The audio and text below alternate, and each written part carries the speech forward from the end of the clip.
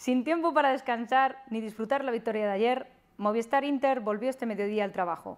Los interistas preparan el trascendental choque de mañana ante el Fútbol Club Barcelona Lassa. Buen ambiente en el equipo y concentración máxima para afrontar con garantías el segundo partido de la final de Liga. Tras el trabajo, el equipo quedó concentrado de cara al partido de mañana. Jesús Velasco repetirá convocatoria. Interistas y blauranas disputarán este sábado a la una el segundo duelo de esta eliminatoria final.